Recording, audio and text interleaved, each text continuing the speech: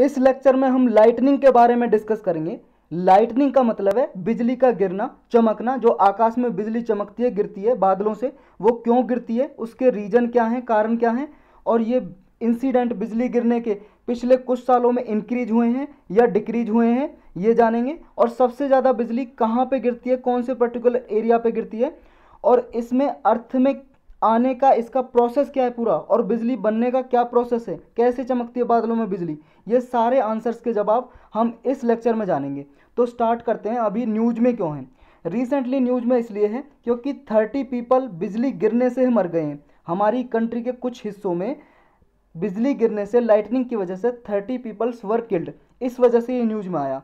और lightning lightning is the biggest contributor to accidental death due to natural cause जितने भी प्राकृतिक कारणों से एक्सीडेंटल मृत्युएँ होती हैं, उनमें सबसे बड़ा एक कारण है लाइटनिंग सबसे बड़ा कारण है बिगेस्ट कंट्रीब्यूटर है लाइटनिंग बिजली गिरने से बहुत ज़्यादा डेथ होती है, मृत्यु होती है। तो इसके बारे में पढ़ते हैं कि पहले लाइटनिंग है क्या। देखो लाइटनिंग क्या है? लाइटनिंग एक वेरी रैपिड और मैसिव डिस्चार्ज ऑफ़ इलेक्ट्रिसिटी है। यानी कि बहुत ही बड़े लेवल पे जो इलेक्ट्रिसिटी का डिस्चार्ज होना एटमॉस्फेयर में, उसी को लाइटनिंग बोलते हैं। कैसे होता है, पूरा प्रोसेस जानेंगे हम इसमें।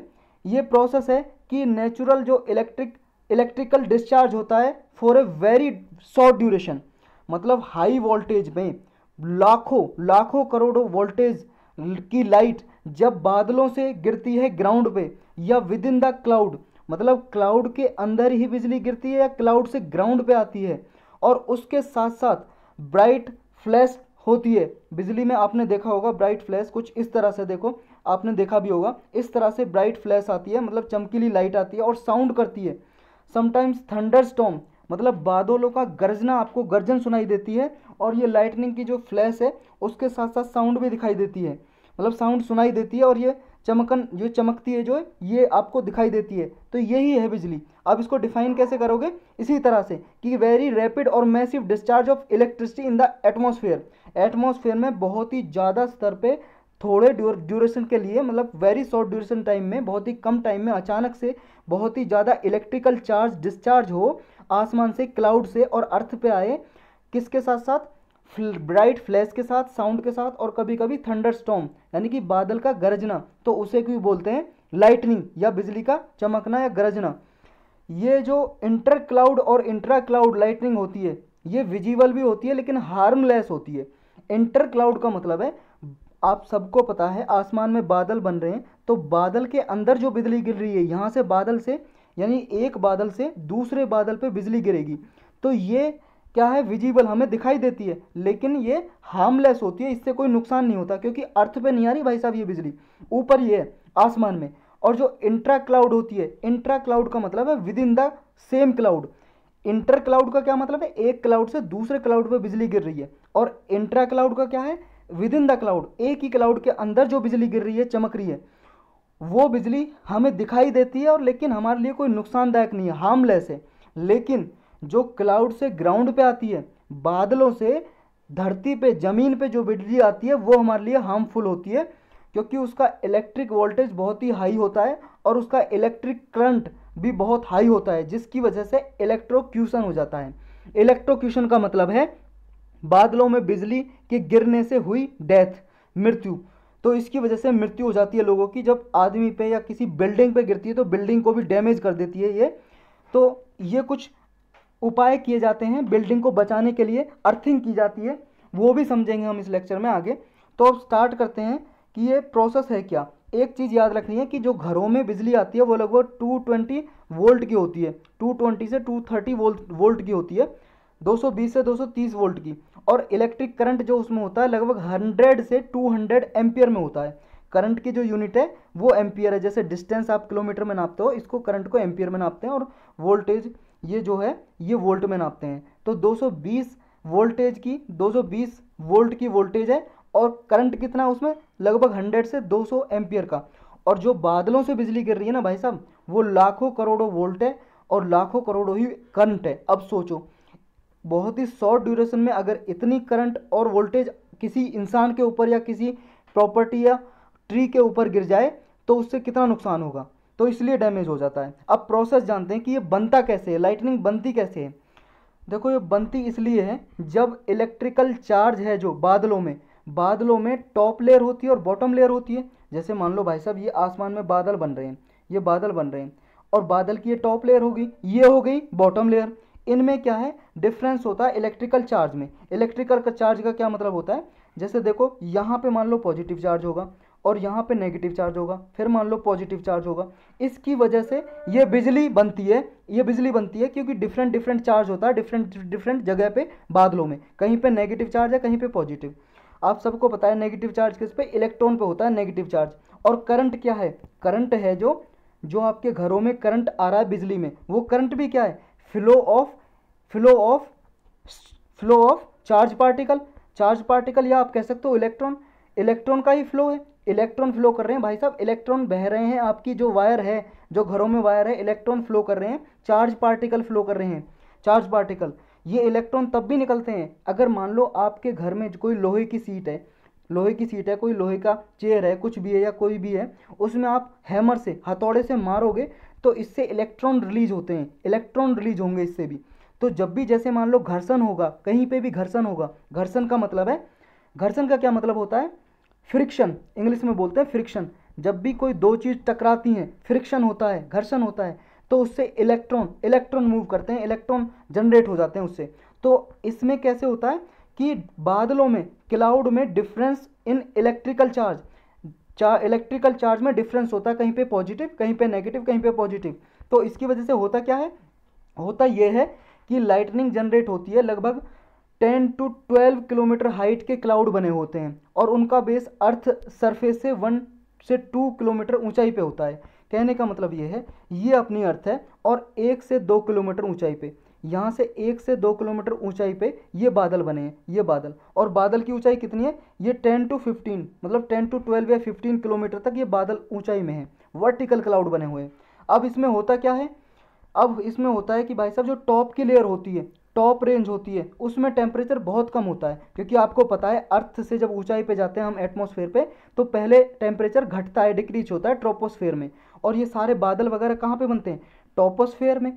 टॉपोस्फेयर जो लेयर है अर्थ किसकी, एटमॉस्फेयर की, हमारे वातावरण की अर्थ से ऊपर जो लेयर है, पंद्रह किलोमीटर तक। मतलब कहने का मतलब है, आसमान में अर्थ से चारों तरफ़ कहीं पे भी जाओगे आप 15 किलोमीटर तक उस लेयर को बोलते हैं टॉपोस्फेयर। क्या बोलते हैं टॉपोस्फेयर? सारे बादल जो बनते हैं और जिनसे बारिश होती है, वो इसी लेयर में होती है। इससे ऊपर होता है आपका स्टेटोस्फेयर। स्टेटोस्फेयर, उस का बादल बनने का और गिरने का, बिजली गिरने का या आपका बारिश होने का कोई रोल नहीं है। तो सारा रोल कितना टॉपोस्फेयर का। तो इस लेयर में ये बादल बनते हैं और टेम्परेचर डिक्रीज होता है पहले और फिर इंक्रीज होता है। ट्रोपोस्फेयर में फिर इंक्रीज होना शुरू हो जाता है टेम्परेचर। तो इसमें क्या है? डिक्रीज होगा। इतना डिक्रीज हो जाता है जो बादलों की टॉप लेयर होती है ना, टॉप रेंज बादलों की, उसमें minus thirty five degree Celsius से लेके minus forty five degree Celsius तक टेम्परेचर हो जाता है। अब इससे होता क्या है? जैसे ही मान लो वाटर वेपर मूव्स करते हैं अपवर्ड क्लाउड में वाटर वेपर वाटर वेपर भाई साहब एयर है। एयर में वाटर वेपर है मॉइस्चर फॉर्म में वाटर गैसियस फॉर्म में गैस की फॉर्म में। जैसे मान लो आप गैस आपके सबके घरों में गैस होगी गैस पे पानी रखा आपने। ये मान लो गैस चूल्हा है। गैस चूल्हे पे आपने ये पैन रखा मतलब कोई भगोना रखा पैन रखा, इसमें पानी गर्म कर रहे हो आप। तो जैसे ही यहाँ हीट होगा पानी, इसमें भाप उठने लगती है वेपर वेपर वो वेपर क्या है? वाटर है मॉइस्चर फॉर्म में गैस की फॉर्म में वाटर है। अगर आप हाथ रखोगे इसके ऊपर तो आपका हाथ गीला हो जाएगा उस भाप से, समझ रहे हो? तो इससे क्या है? जब वाटर वेपर ऊपर जाते हैं, क्योंकि गर्म होते हैं वो हीट होती है तो ऊपर जाएँगे वो, ऊपर जाएँगे ऊपर जाएँगे तो क्या होगा? उनका कंडेंसेशन होगा। कंडेंसेशन क्या है? जैसे आप, आपके फ्रिज में से कोई बोतल बाहर निकाल के रखो, वो क्या होगा? उसके थोड़ी देर बाद देखोगे आप ठंडी बोतल उसमें बाहर थोड़ी थोड़ी पानी की बूंदें जम जाएँगी। वो कहाँ से आई हैं? क्योंकि एटमॉस्फेयर में आपके आस पास इसके आसपास वातावरण है, वहाँ एयर है एयर में वाटर है। वो वाटर क्या है? ये गर्म फॉर्म में, ये ठंडा है ये। जब भी ये ठंडी चीज़ के संपर्क में आएगा तो ये क्या है? वाटर जो वेपर है वाटर वेपर जो एयर में है एयर में वाटर वेपर है, ये बदल जाएगा किसमें? लिक्विड में। लिक्विड में, क्योंकि पानी की बूंदें तरल हो गई। पहले आपको दिखाई नहीं दे रही थी एयर में। एयर में आपको दिखाई नहीं दे रही थी, क्योंकि गैस फॉर्म में थी। गैस फॉर्म में थी वाटर फॉर्म में। जैसी ठंडी चीज़ के संपर्क में आई तो ये ठंडा हो गया। यानी कि जब भी वाटर क्या है वाटर वेपर को ठंडा कोई प्लेस मिलेगा तो वो गैसियस फॉर्म से लिक्विड में चेंज हो जाएगा। इसी का, इसी को बोलते हैं, इस क्रिया को, इस प्रोसेस को वाटर वेपर से लिक्विड में चेंज होने की क्रिया को क्या बोलते हैं? कंडेंसेशन और कभी कभी क्या होता है? मान लो, यहाँ पे जो टेम्परेचर था, जो आपने बोतल निकाली, उसका टेम्परेचर मान लो कि भाई साहब माइनस या मान लो प्लस में था कि टू डिग्री या थ्री डिग्री सेल्सियस था उसका, और इसका वाटर वेपर का था मान लो टेन डिग्री या मान लो बत्तीस डिग्री था रूम टेम्परेचर मान लो थर्टी टू डिग्री सेल्सियस था। तो जैसे ये आएगी संपर्क में तो वाटर वेपर में चेंज हो जाएगा। लेकिन अगर मान लो यहाँ सरफेस का, जिस जो ठंडा सरफेस है, उसका ज़ीरो डिग्री टेम्परेचर था ज़ीरो डिग्री या ज़ीरो डिग्री से लेस था ज़ीरो डिग्री या ज़ीरो डिग्री से कम था, बराबर था या लेस था तो अब क्या होगा, ये क्या होगा, ये डायरेक्ट जो वाटर वेपर था अब ये पानी में चेंज नहीं होगा। अब होगा डायरेक्ट आइस क्रिस्टल में, यानी कि बर्फ़ में चेंज हो जाएगा ये। और इसी तरह से जब ये बर्फ़ में चेंज हो जाता है, ये ओले बन के बरस जाते हैं नीचे। ओले हेल स्टॉम हो जाता है। हेल हेल बोलते हैं ओले को, ये बरस जाते हैं। यानी कि ज़ीरो डिग्री से नीचे होगा। और जब डायरेक्ट गैस कोई लिक्विड में कन्वर्ट ना होकर डायरेक्ट सॉलिड में हो, उस क्रिया को वैसे कंडेंसेशन यूज़ करते हैं जोग्राफी में। लेकिन अगर साइंस में पर्टिकुलरली आप कोई टर्म यूज़ करो तो उसे बोलते हैं sublimation sublimation S U B L I M A T I O N sublimation जब डायरेक्टली लिक्विड से गैस में मतलब आपका सॉलिड से गैस में या गैस से सॉलिड में डायरेक्ट डायरेक्ट चेंज हो, क्योंकि क्योंकि ये जो बर्फ़ बनी है आइस ये क्या है? भाई साहब सॉलिड ही तो है सॉलिड ठोस है, और जो वाटर वेपर है वो गैस है, और पहले जो वाटर वेपर से लिक्विड में हुआ था, वो तरल पदार्थ है लिक्विड है, पानी पानी लिक्विड है, पानी की बूंद बनी। तो लिक्विड में चेंज होगा तो कंडेंसेशन, और जोग्राफी में बर्फ़ में चेंज होगा उसे भी कंडेंसेशन वर्ड यूज़ करते हैं। अगर आप पर्टिकुलरली साइंस पे जाओ तो वाटर वेपर से जो ठोस में लिक्विड में चेंज होगा मतलब ठोस में, सॉरी, ठोस में यानी कि सॉलिड में चेंज होगा, वाटर वेपर से सॉलिड में चेंज होगा या सॉलिड से वाटर वेपर में गैस में चेंज होगा तो उसके लिए सब्लिमेशन वर्ड यूज़ करते हैं। समझ गए? तो इसमें क्या है? अब यहाँ पे आते हैं कि ये कंडेंसेशन होगा तो वाटर में चेंज हो जाएगा क्यों? डिक्रीजिंग टेम्परेचर की वजह से, क्योंकि टेम्परेचर डिक्रीज हो रहा है ठंडे, जो ठंडा यहाँ पे प्लेस है, उसके संपर्क में आ रहा है। इसकी वजह से क्या हो रहा है? अब जैसे ही क्या है, जैसे भाई साहब मान लो, ये चेंज हुआ। ये चेंज हुआ किसमें चेंज हुआ था किसमें हुआ था? वाटर वेपर से लिक्विड में चेंज हुआ था। अब वाटर वेपर से लिक्विड में जब चेंज हुआ था वाटर वेपर से तो ये वाटर वेपर में गैसियस फॉर्म में था। अब लिक्विड में चेंज होने वाला था ये, जब ठंडी चीज़ के संपर्क में आएगा, ठंडे प्लेस में। जैसे भाई साहब, यहाँ से एयर मूव कर रही है आसमान में ऊपर। एयर मूव कर रही है। अब वाटर वेपर क्या है? इतना ठंडा हो गया। अब यहाँ से लिक्विड में चेंज हो गया। अब जिस टेम्परेचर पे ये वाटर वेपर से लिक्विड में चेंज हुआ है, उस टेम्परेचर को, जिस टेम्परेचर पे हुआ, मान लो दो डिग्री टेम्परेचर पे, तीन डिग्री पे, चार डिग्री पे चेंज हुआ है, उस टेम्परेचर को बोलते हैं ड्यू पॉइंट ये याद रखना ड्यू पॉइंट उसको क्या बोलते हैं? ड्यू पॉइंट बोलते हैं ड्यू पॉइंट तो ये अब जब चेंज हुआ, क्योंकि वाटर वेपर था जब ही इसके पास हीट थी। भाई हीट रहेगी, ऊष्मा रहेगी, गर्मी रहेगी, तभी तो वो गैस फॉर्म में रहेगा। अगर ये लिक्विड में चेंज हो गया, यानी कि हीट रिलीज़ कर दी इसने, यानी कि हीट इसने छोड़ दी। हीट ने रिलीज़ कर दी और हीट छोड़ने के बाद ये लिक्विड में चेंज हो गया। पानी में चेंज हो गया, क्योंकि पानी तो ठंडा है गैस से। पानी तो ठंडा है, उसका टेम्परेचर कम है। तो ये हीट रिलीज़ हुई। इस हीट को बोलते हैं लेटेंट हीट लेटेंट का मतलब वैसे होता है छुपा हुआ हिडन तो ये लेटेंट हीट रिलीज़ हुई। अब ये लेटेंट हीट जो रिलीज़ हुई है, इसकी वजह से क्या होता है भाई साहब?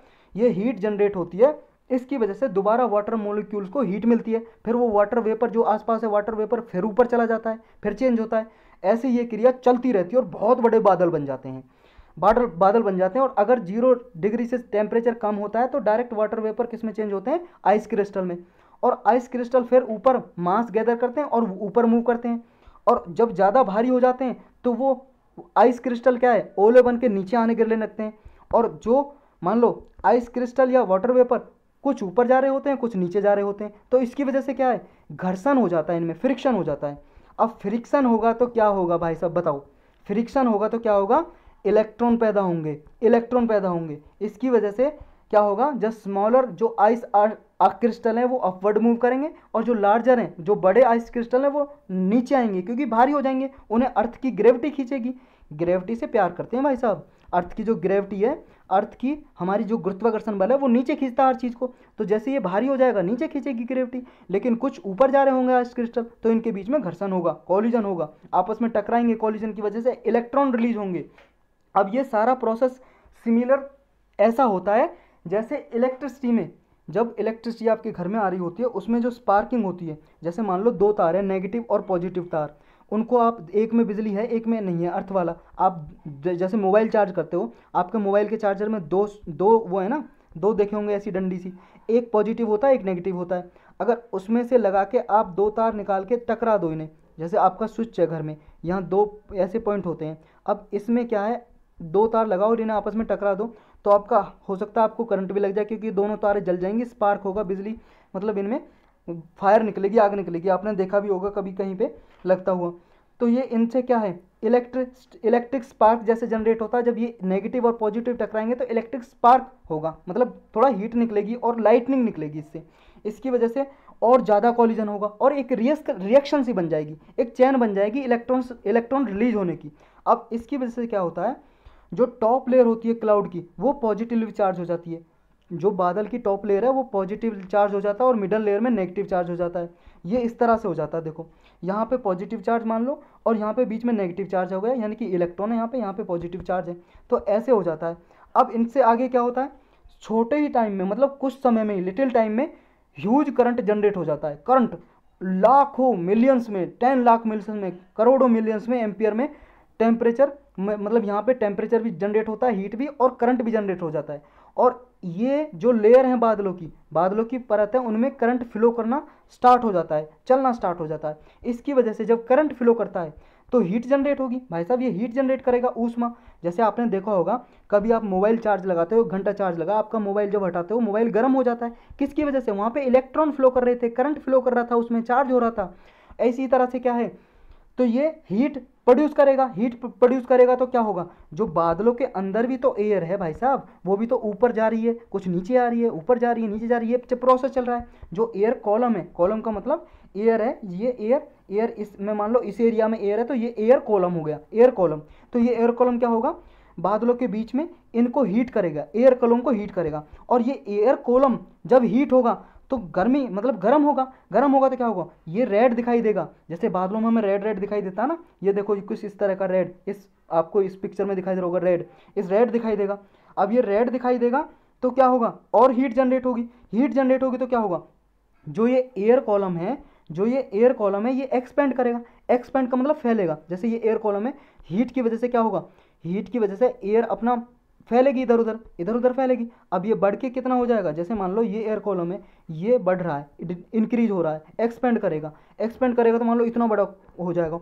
और ये अचानक से होता है, अचानक से, बहुत ही लिटिल टाइम में मिलियंस मतलब बहुत ही कम सेकंड में अचानक से एक्सपेंड करता है। और जब एयर एक्सपेंड करती है तो ये सॉक वेव जनरेट करती है।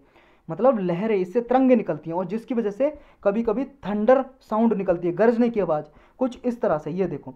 ये है आपका एयर कॉलम बीच में क्लाउड में एयर कॉलम है और ये आपको दिखाई दे रहा होगा एक्सपेंड कर रहा है. ये घूम रहा है एक्सपेंड कर रहा है और बीच में देखो लाइट जनरेट हो रही है हीट जनरेट हो रही है. इसकी वजह से हमें रेड रेड सा दिखाई देता है और हीट जनरेट होती है और ये एक्सपेंड करता है. अब ये ये हो गया कैसे हीट निकलती है और कैसे ये लाइटनिंग बनती है, कैसे ये यहाँ पे गर्जन सुनाई देती है, क्योंकि कॉलम की वजह से गर्जना कैसे सुनाई देता है, क्योंकि जो एयर कॉलम है वो एक्सपेंड करता है. बादलों के अंदर जो एयर है, वो अचानक से एक्सपेंड करती है मतलब बढ़ती है इंक्रीज होती है। ये बढ़ने की वजह से आवाज़ निकलती है। जैसे कभी आपने, क्या है एयर चलते हुए देखिए जब हवा चलती है, आवाज़ आती है ना सू सू किसी आवाज़ आती है। तो ये क्या है? ये बहुत बड़ी मात्रा में एयर अचानक से, बहुत ही कम टाइम में अचानक से फैलती है एयर जब फैलेगी तो बहुत तगड़ी आवाज़ आती है, बहुत ज़्यादा, जिसकी वजह से हमें गरजना सुनाई देता है कि बादल गरज रहे हैं। अब ये अर्थ पे कैसे आती है, ये समझते हैं। ये स्ट्राइक अर्थ सरफेस पे कैसे आती है? अर्थ पे क्यों आती है भाई साहब ये? देखो, अर्थ आपको पता है गुड कंडक्टर ऑफ़ इलेक्ट्रिसिटी है। गुड कंडक्टर का मतलब है सुचालक। और बैड कंडक्टर होता है कुचालक। यानी कि जिस में से, जिस इंस्ट्रूमेंट में से या किसी मेटल में से बिजली पास हो जाए करंट पास हो जाए, वो है कंडक्टर गुड कंडक्टर और जो बैड कंडक्टर कौन है, जिसमें से पास ना हो, कुचालक हो गया। यानी कि बैड गुड कंडक्टर कौन है? गुड कंडक्टर अर्थ है। अर्थ भी यानी कि बिजली पास हो सकती है। जैसे आपके घरों में तांबे का कोई चीज़ है, मान लो लोहे का है, उनमें जैसे एक बिजली का तार लगाओगे, यहाँ से करंट पास हो जाएगा। मान लो बीच में आप ये तार है, यहाँ बीच में यहाँ बल्ब लगा दो आप जोड़ के तो जल जाएगा क्योंकि इलेक्ट्रिसिटी पास हो जाएगी। अगर बीच में आप प्लास्टिक जोड़ दो, प्लास्टिक, वो प्लास्टिक क्या है? बेड कंडक्टर उससे नहीं होती बिजली पास, कुचालक है वो। हिंदी में बोलते हैं कुचालक और सुचालक बोलते हैं कंडक्टर को गुड कंडक्टर को। तो इलेक्ट्रिसिटी पास हो जाती है अर्थ में से। लेकिन जनरली क्या है? अर्थ इलेक्ट्रिकली न्यूट्रल है, कोई चार्ज नहीं है अर्थ पे। लेकिन अगर बादल की जो मिडल लेयर है, बादल की मिडल लेयर में देखो, क्या है? नेगेटिव चार्ज है। अगर इससे कंपेयर करें तो जो अर्थ है, वो पॉजिटिवली रिलेटिवली पॉजिटिवली चार्ज है। मतलब अर्थ में थोड़ा बहुत पॉजिटिव चार्ज है पॉजिटिव चार्ज है। और बादलों में कैसा है? नेगेटिव चार्ज क्योंकि नेगेटिव चार्ज आ रहा होता है। अब नेगेटिव चार्ज तो भाई साहब किसकी तरफ़ मूव करेगा? उसे तो चाहिए पॉजिटिव नेगेटिव और पॉजिटिव चीज़ क्या करती हैं? अट्रैक्ट करती हैं। जैसे मान लो लड़का लड़की है भाई साहब नेगेटिव लड़की मान लो पॉजिटिव लड़का मान लो, नहीं आप नेगेटिव लड़के को मानो पॉजिटिव लड़की को मानो, लड़की बुरा मान जाएँगी। तो गर्ल मान लो पॉजिटिव है तो आपस में अट्रैक्ट करते हैं। ऐसे क्या चार्ज भी अट्रैक्ट करते हैं भाई साहब आपस में? अट्रैक्ट करते हैं, एक दूसरे की तरफ़ आकर्षित होते हैं। तो ऐसे क्या है, जो नेगेटिव चार्ज है बादलों में, वो अर्थ की तरफ़ अट्रैक्ट होगा। यानी कि जो बादलों में है twenty two twenty five percent जो करंट फ्लो है, जो करंट फ्लो करता है, वो अर्थ की तरफ़ आ जाता है।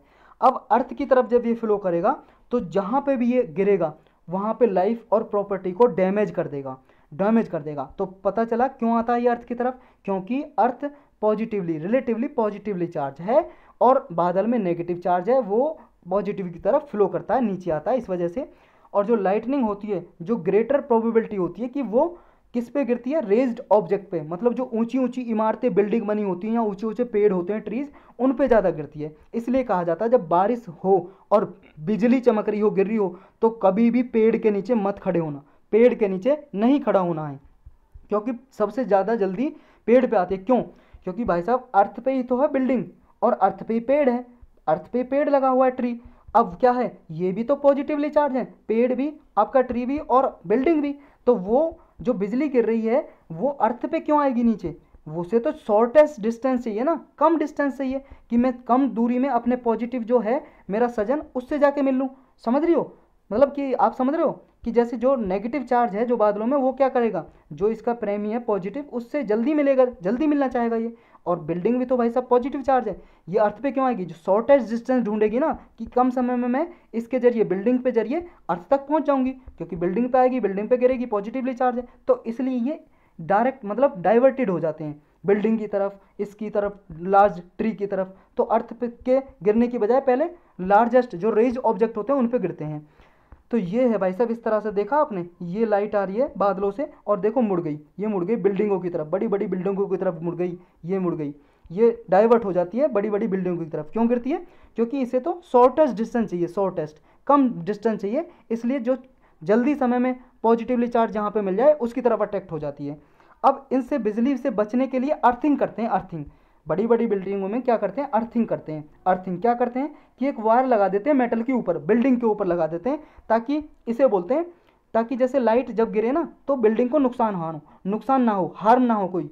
जैसे इसे बोलते हैं लाइटनिंग कंडक्टर लाइटनिंग कंडक्टर क्या होता है? बिल्डिंग को प्रोटेक्ट करने के लिए एक मेटल होती है metallic rod metallic rod metal की रोड हो सकती है, मान लो सिल्वर की हो सकती है एल्यूमिनियम की हो सकती है, या लोहे की हो सकती है, तांबे की हो सकती है, कोई भी जो इलेक्ट्रिसिटी को क्या है? मतलब वो गुड कंडक्टर हो और जब इस पर बिजली गिरे तो ये इसे नीचे अर्थिंग कर देते हैं। अर्थ में नीचे दबा देते हैं। जब भी बिजली गिरेगी, वो अर्थ में चला जाएगा। चार्ज बिल्डिंग को कोई नुकसान नहीं होगा। तो इसके इफ़ेक्ट से बचा बचा लेती है। जो टालर बिल्डिंग होती हैं टालर बिल्डिंग होती हैं, उनकी वाल पे एक वायर लगा देते हैं रॉड लगा देते हैं, जो नीचे ले जाता है चार्ज को, जो नेगेटिव चार्ज आ रहा है। इस तरह से देखो ये बिल्डिंग पे। किसी भी बिल्डिंग पे देखना, बड़ी बिल्डिंग पे, ये इस तरह का वायर लगी होती है। ये वायर दिखाई दे रही है आपको, ये वायर दिखाई दे रही है आपको इसमें। यहाँ पे भी ये वायर है। सब हर एक बिल्डिंग में मिलेगी बड़ी बिल्डिंग में। इससे क्या होता है, जब बिजली गिरती है तो नीचे आ जाता है, ये नीचे लगा होता है अर्थिंग कर देते हैं इसको इस तरह से। ये देखो बिल्डिंग है, ये नीचे अर्थिंग कर दी अर्थ में। अर्थ में दबा दिया, इसी को बोलते हैं अर्थिंग करना अर्थिंग करना। ये चार्ज जैसे यहाँ नेगेटिव चार्ज आता है, क्योंकि ये पॉजिटिवली चार्ज है। तो यहाँ जो नेगेटिव चार्ज है, वो नीचे अर्थ पे आ जाएगा और बिल्डिंग को कोई नुकसान नहीं होता बिल्डिंग बच जाएगी। कुछ इस तरह से अर्थिंग कर देते हैं। देखो जगह जगह पे अर्थिंग की हुई है यहाँ पे। ये इस तरह से मेटेलिक रोड लगा देते हैं। ये, इसको बोलते हैं अर्थिंग अब सबसे ज़्यादा एक्टिविटी कहाँ पे मिलती है? अर्थ में लाइटनिंग की। वो वेनजुअला वेनेजुअला एक कंट्री है, उसमें एक लेक है झील, जिसका नाम है मारा काइबो इसमें बहुत ज़्यादा इंसिडेंट देखने को मिलते हैं। यहाँ पे गिरती है बिजली। अब ये देख लीजिए आप, ये आपने देखा होगा नॉर्थ इंडिया मतलब नॉर्थ अमेरिका और साउथ अमेरिका कॉन्टिनेंट यहाँ पे ये वेनेजुला आपको कंट्री दिखाई दे रहा होगा वेनेजुला ये वेनेजुला में एक लेक है, ये मारा काउगो नाम की मारा काउगो यहाँ पे गिरती है, बहुत ज़्यादा बिजली। अब इसमें जो, क्या है इस प्लेस में? काटा कुंबो ये काटा तुम्बो काटा तुम्बो रिवर है, इस लेक में झील में आके गिरती है मारा काइबो मारा काइबो लेक में झील में आके गिरती है। और यहाँ पे हर साल लगभग, हर साल 260 स्टॉम डेज़ होते हैं मतलब तीन सौ पैंसठ दिन में 260 दिन तक तो यहाँ बिजली गिरती रहती है लाइटनिंग गिरती रहती है। और अक्टूबर के महीने में तो हर एक मिनट में 28 हर एक मिनट में 28 लाइटनिंग यहाँ पे होती हैं। हर एक हर एक मिनट में 28 लाइटनिंग होती है मतलब 28 बार बिजली गिरती है हर एक मिनट में। और इसी वजह से इस फिनोमिना को बोलते हैं बीकन ऑफ़ माराकाइबो या एवर लास्टिंग स्टॉम क्योंकि हर एक मिनट में 28 बार लगभग यहाँ पे बिजली चमकने को देखने को मिलती है, चमकती है। इसी वजह से इसको बोलते हैं फिनोमिना को बीकन ऑफ़ माराकाइबो या एवरलास्टिंग स्टॉम अब क्लाइमेट चेंज का क्या इफ़ेक्ट है? लाइटनिंग पे। देखो क्लाइमेट चेंज का क्या है? आप सबको पता है क्लाइमेट चेंज क्या हो रहा है? ग्लोबल वार्मिंग हो रही है। ग्लोबल वार्मिंग किसकी वजह से? ग्रीन हाउस गैस की वजह से। ये एटमॉस्फेयर में टेम्परेचर को एब्जॉर्व कर लेती हैं और टेम्परेचर अर्थ का बढ़ जाता है। इसी को बोलते हैं ग्लोबल वार्मिंग अर्थ का एटमॉस्फेयर का एवरेज टेम्परेचर का इंक्रीज होना। अब इसकी वजह से क्या होता है? जैसे ही वन डिग्री सेल्सियस इंक्रीज होता है टेम्परेचर इसकी वजह से कितना होता है? ट्वेल्व परसेंट तक लाइटनिंग के केस बढ़ जाते हैं। ऐसा कैलिफ़ोर्निया यूनिवर्सिटी ने बोला है। कैलिफ़ोर्निया यूनिवर्सिटी यूएसए में, अमेरिका की यूनिवर्सिटी है, उसने 2015 में एक रिपोर्ट पब्लिश की। उसने कहा, अगर एक डिग्री सेल्सियस टेम्परेचर बढ़ता है तो 12 परसेंट लाइटनिंग के केस ज़्यादा बढ़ते हैं।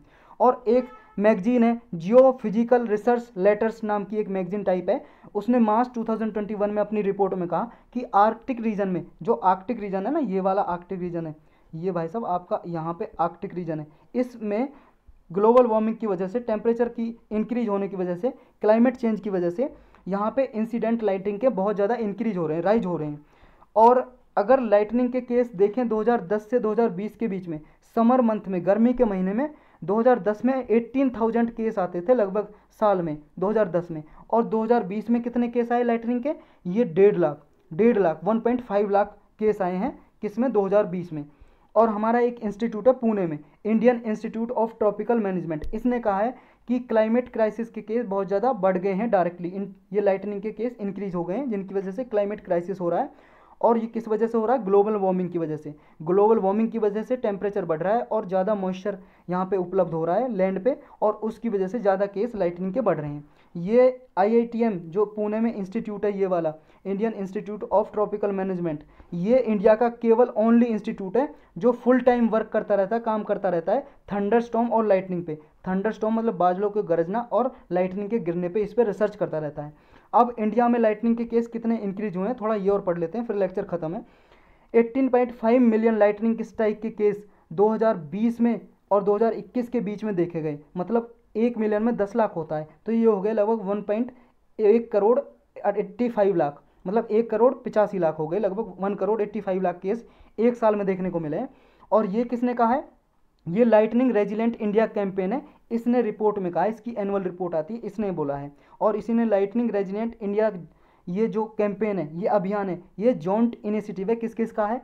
एक तो है आपका ये C R O P C climate resilient observing system promotion council और एक हमारा इंडिया का जो नेशनल डिजास्टर मैनेजमेंट अथॉरिटी है, वो इंडिया का, इंडिया मेट्रोलॉजी का डिपार्टमेंट है और union ministry of earth science के अंदर आता है ये। और एक वर्ल्ड विजन इंडिया और यूनिसेफ ये यूनाइटेड नेशन की स्पेशलाइज एजेंसी है एक। तो ये हैं जो, ये मिलके और कुछ और भी हैं, इनका मिलके एक ये अभियान है कैंपेन है। इसने बोला है 2020-21 के बीच में इतने, एक करोड़ पचासी लाख के केस आए इंडिया में। इस कैंपेन का टारगेट ये है कि ये 2022 तक कम से कम 1200 से कम डेथ हों बिजली के गिरने की वजह से। तो लाइटनिंग की वजह से जितनी डेथ होती है उनको कम करना है 1200 से कम एक साल में। एक साल में कम से कम 1200 से कम डेथ हो। क्योंकि ये केस क्या है?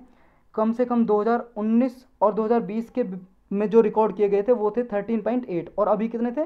18.5 मिलियन और 2019-20 में एक साल पहले का डेटा 13.8 मिलियन यानी कि 34 परसेंट इंक्रीज हो गए प्रीवियस ईयर से पिछले साल से। तो बस यही था इस लेक्चर में आपको समझ में आया तो, तो अच्छा है।